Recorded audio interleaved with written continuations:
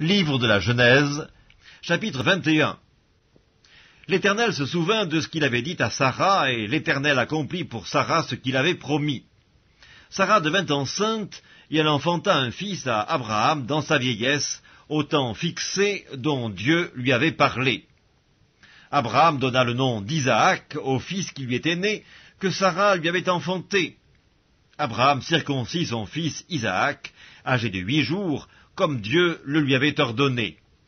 Abraham était âgé de cent ans à la naissance d'Isaac son fils, et Sarah dit, Dieu m'a fait un sujet de rire, quiconque l'apprendra rira de moi. Elle ajouta, qui aurait dit à Abraham, Sarah allaitera des enfants, cependant je lui ai enfanté un fils dans sa vieillesse. L'enfant grandit et fut sevré. Et Abraham fit un grand festin le jour où Isaac fut sevré. Sarah vit rire le fils qu'Agar, l'Égyptienne, avait enfanté à Abraham. Et elle dit à Abraham, Chasse cette servante et son fils, car le fils de cette servante n'héritera pas avec mon fils, avec Isaac.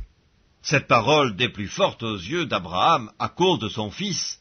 Mais Dieu dit à Abraham, Que cela ne déplaise pas à tes yeux à cause de l'enfant et de ta servante, accorde à Sarah tout ce qu'elle te demandera, car c'est d'Isaac que sortira une postérité qui te sera propre. Je ferai aussi une nation du fils de ta servante, car il est ta postérité.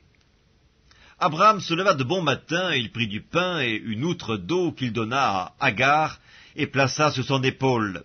Il lui remit aussi l'enfant, et la renvoya. Elle s'en alla et s'égara dans le désert de Beersheba.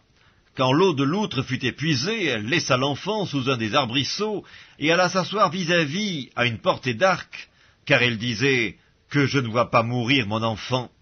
Elle s'assit donc vis-à-vis de lui, éleva la voix et pleura. Dieu entendit la voix de l'enfant, et l'ange de Dieu appela du ciel Agar, et lui dit Que se passe-t-il, Agar Ne crains point, car Dieu a entendu la voix de l'enfant dans le lieu où il est. Lève-toi, prends l'enfant, Saisis-le de ta main, car je ferai de lui une grande nation. Et Dieu lui ouvrit les yeux, et elle vit un puits d'eau. Elle alla remplir d'eau l'outre, et donna à boire à l'enfant. Dieu fut avec l'enfant, qui grandit, habita dans le désert, et devint tireur d'arc.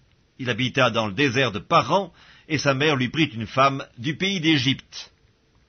En ce temps-là, Abimelech, accompagné de Picol, chef de son armée, parla ainsi à Abraham. Dieu est avec toi dans tout ce que tu fais. Jure-moi maintenant ici, par le nom de Dieu, que tu ne tromperas ni moi, ni mes enfants, ni mes petits-enfants, et que tu auras pour moi et le pays où tu séjournes la même bienveillance que j'ai eue pour toi. Abraham dit, je le jurerai. Mais Abraham fit des reproches à Abimelech au sujet d'un puits d'eau dont s'étaient emparés de force les serviteurs d'Abimelech. Abimelech répondit, J'ignore qui a fait cette chose-là, tu ne m'en as point informé, et moi, je ne l'apprends qu'aujourd'hui. Et Abraham prit des brebis et des bœufs qu'il donna à Abimelech, et ils firent tous deux alliance. Abraham mit à part sept jeunes brebis, et Abimelech dit à Abraham, Qu'est-ce que ces sept jeunes brebis que tu as mis à part? Il répondit, Tu accepteras de ma main ces sept brebis, afin que cela me serve de témoignage que j'ai creusé ce puits.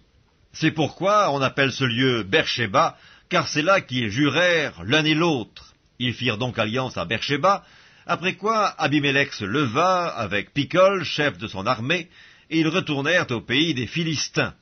Abraham planta des tamarisques à Beersheba, et là il invoqua le nom de l'Éternel, Dieu de l'éternité. Abraham séjourna longtemps dans le pays des Philistins.